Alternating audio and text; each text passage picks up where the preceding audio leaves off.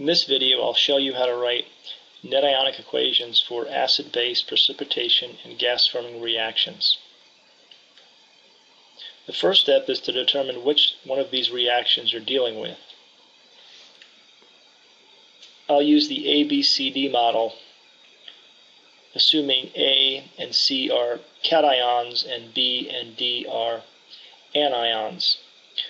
The idea behind the ABCD model is that you switch the ion members in the pairs. So cation A would combine with anion D, and cation C would combine with anion B. And at that point, you would analyze A, D, B, C to determine what type of products you would have.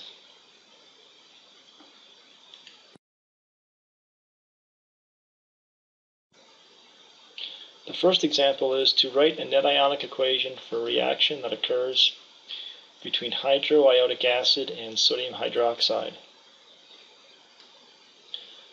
The first step is to identify the type of reaction. Make sure you have correct formulas, then write a balanced chemical equation. Well, it's clear in this case that it's an acid-base reaction. So if we follow the ABCD model, we switch the ions. The hydrogen in HI would be combined with the hydroxide, and that would form water. Also, it's very important to write the state of your reactants and your products. The next step is to write the total ionic equation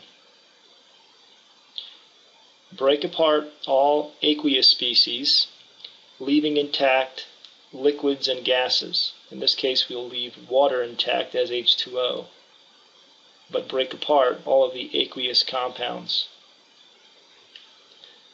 The final step is to cross out the so-called spectator ions, those ions that appear on both sides of the arrow, or both sides of the chemical equation. Then rewrite the net reaction. In this case, it's a hydrogen ion and a hydroxide ion making water. And for all strong acid, strong base reactions, the net ionic equation will reduce to a hydronium ion and a hydroxide ion producing water.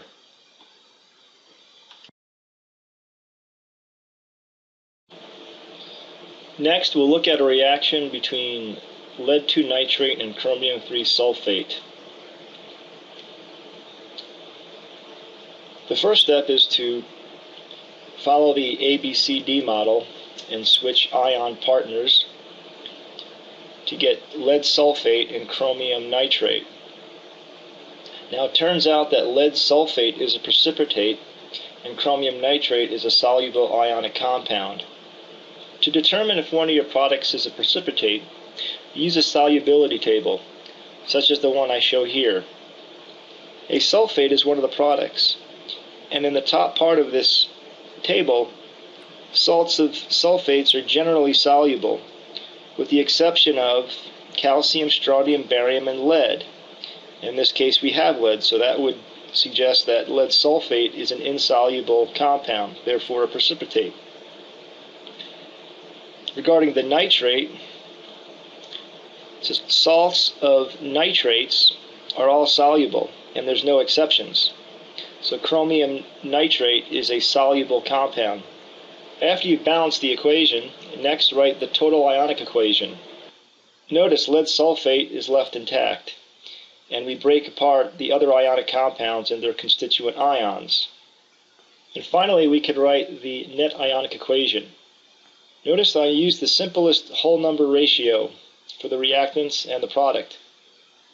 One lead reacts with one sulfate to produce lead sulfate.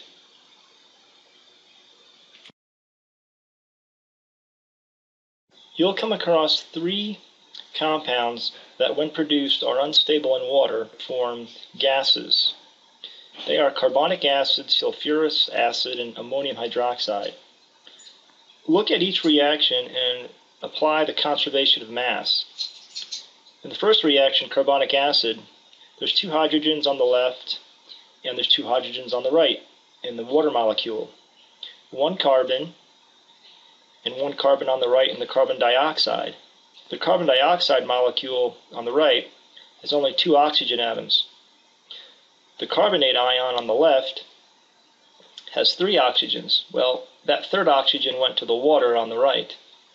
Similarly, sulfurous acid breaks down into sulfur dioxide and water. And finally, ammonium hydroxide, the ammonium turns into ammonia, and water is also produced. Another gas forming reaction is sodium sulfide reacting with a strong acid. In this case, we'll show it reacting with hydrochloric acid, but any strong acid will do.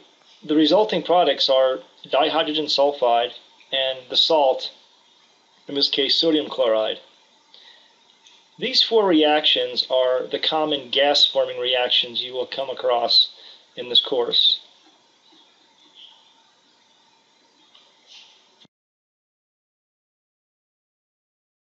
Here you're asked to write the net ionic equation for the reaction between sodium sulfite and hydrochloric acid.